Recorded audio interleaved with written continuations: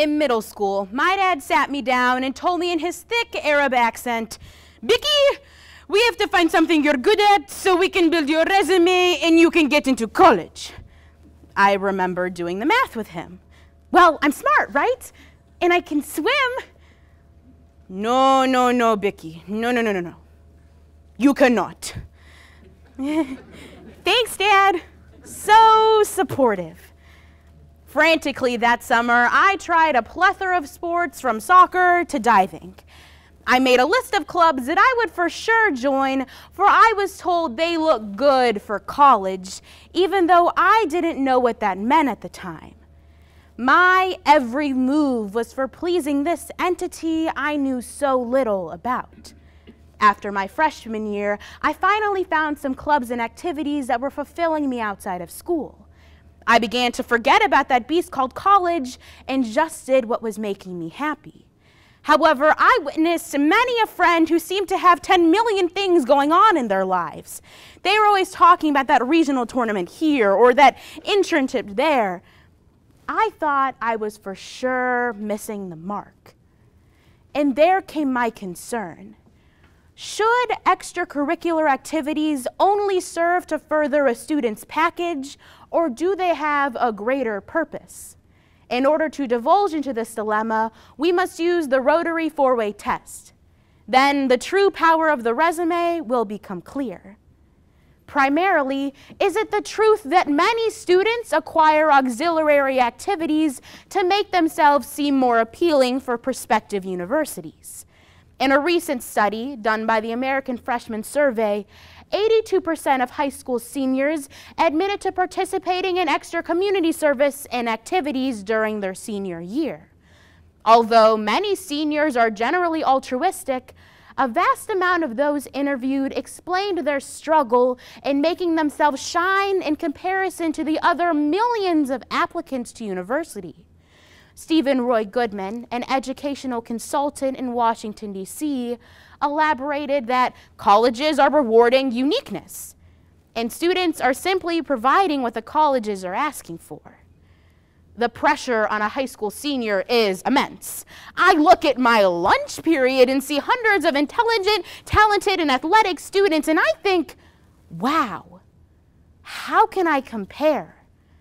Nowadays, with top school acceptance at less than 10%, every student is looking for that edge to put them beyond the pack. That could be a test score, a state title, or a national team. It's all a race to succeed, and thus students are only using extracurriculars to boost their resumes. Furthermore, is this fair to all concerned? Every year 2.5 million applicants apply to college. That's 2.5 million teens hoping for acceptance into their dream school, or the full scholarship to their parents' alma mater, or the chance to escape their homes and experience a brand new culture. With a 2.5 million applicant pool, how can colleges excavate the exceptional eggs from the average? That's where extracurriculars come into play.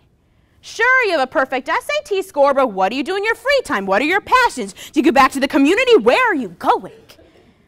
It's fair for colleges to hold students accountable to these questions, but it's not fair for students to completely change themselves and their loves to fit the cookie cutter college profile. In a recent NPR interview, Andrew Flagel, the senior vice president of students and enrollment at Brandeis University, recalled an especially saddening meeting he had with a mother and her son. The mother told Flagel that her son needs to quit crew, take more AP classes, and join the debate team because that's what's going to get him into college. The son, tears in his eyes, could only say, But I love crew. Sacrificing joy for potential success should not be the goal of one's senior year. Moreover, reemphasizing passion over versatility will promote goodwill and better friendships. The ability to devote oneself to something one adores is much more fulfilling than trying to please some unknown entity. No longer will high school be a rat race between the successful and unsuccessful. It'll be a group of students coming together with different passions and talents, excelling in their own fields of choice. In recent years, admissions directors like Sean Logan of the Phillips Academy in Andover have stopped looking for the student who can check off 25 different boxes. Logan says he's looking for those who have made great accomplishments in few places they truly enjoy. Without the pressure to conquer a billion clubs and sports, high school will prepare students for a more focused and successful college experience. This new outlook answers the final question to the Rotary four way test Will it be beneficial to all concerned? Yes. Although there are 2.5 million applicants to college, there are not 2.5 million of the same talents, backgrounds, and skills extracurriculars are not the only thing that makes a student unique. Without the ferociously competitive mindset that many parents and students have, students can finally excel in their passions. And colleges will find the perfect candidates for their programs. I wish I could go back and tell middle school me that it would all work out eventually, and maybe I wasn't as big as a failure as my father thought.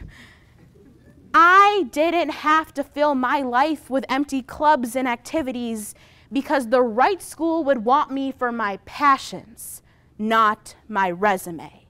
Thank you.